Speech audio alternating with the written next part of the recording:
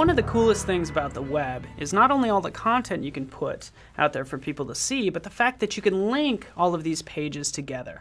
So that's my goal with this lesson, to start to link content together. Because on this page is where I want to create these links to these other websites.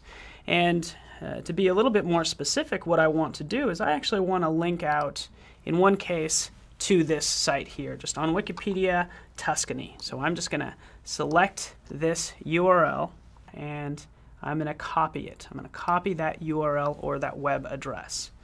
All right, now I will go into Dreamweaver and with this page open, and again, if it's not open, just double click index.html in your files panel.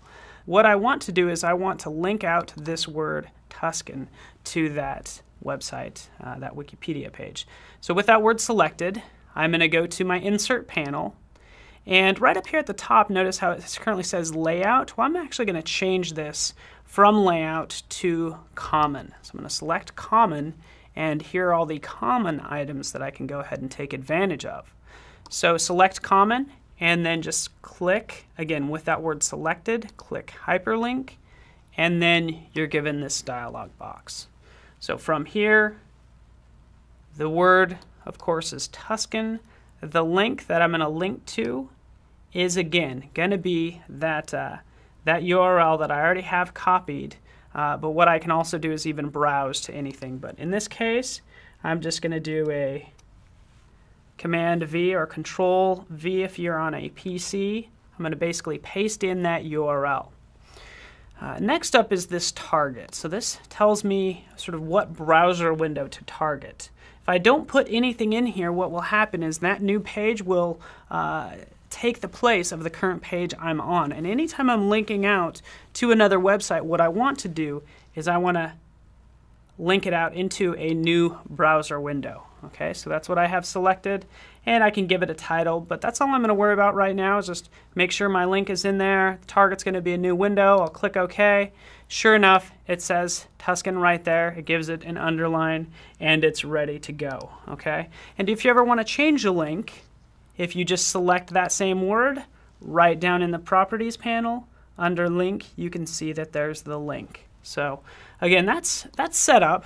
And uh, before I actually test that out, what I want to do is I want to link out one other thing. In this case, Chef Paolo. So Chef Paolo, right here, I'm going to select those two words. I'm going to go ahead and have those two words link out to an email address.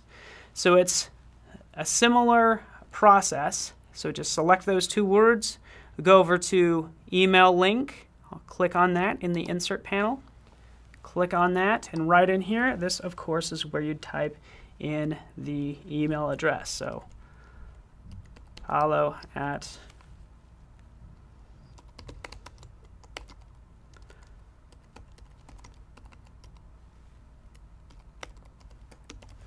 Paolo at. So that's what I want to have for my email link. I'll just click OK. Sure enough, it looks exactly the same. In this case, it links out to an email address. So if I look down here in the properties panel, it does say mail to, you know, send an email to this address.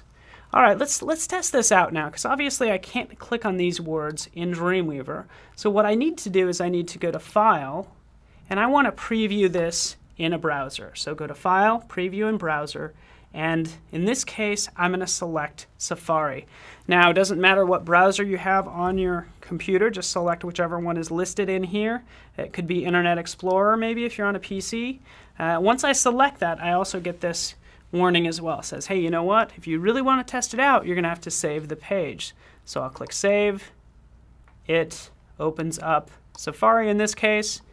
If I click on Tuscan, it jumps out to that page. All right, so sure enough, it opens up in a new window. That's exactly what I want. It's looking great. I'll close that browser window. And notice it did change colors, okay? So it just changes to these sort of default colors that it's currently using, and I can modify that later. And again, in this case, I'm going to click on this. It's an email link, and what it does is it opens up your default email client. In this case, for me, it opens up Microsoft Entourage for the Mac. So as you can see, it makes this page much more valuable, linking out to other content that is important to this specific page.